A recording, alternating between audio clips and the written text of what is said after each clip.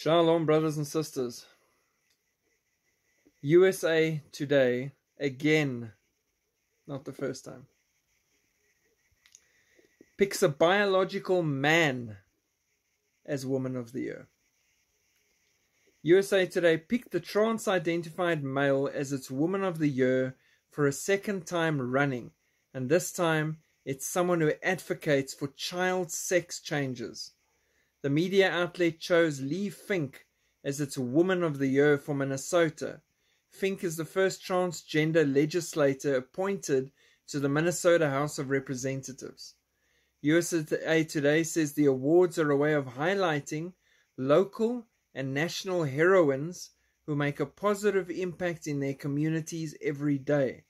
Finke made it a priority to ensure children are allowed to have access to gender altering surgery, recently sponsoring a bill to make Minnesota a trans refuge state. As we highlighted last week, Democrat governor and lieutenant governor of the state are on an executive mission to force state agencies to push gender affirming healthcare. So they're celebrating this guy for mutilating children and making it legal and protected. That is the woman of the year? Where are the women fighting against this? Where's feminists now stopping this? You're being disempowered and destroyed on a public level. And then we're celebrating the mutilation of children. How much more evil can it get?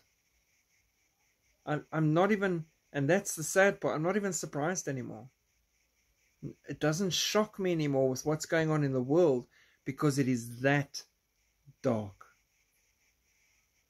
But I'm not worried because I'm connected to the light. And my little flickering candle will keep flickering and giving light until I'm taken. God bless. Keep looking up. Shalom.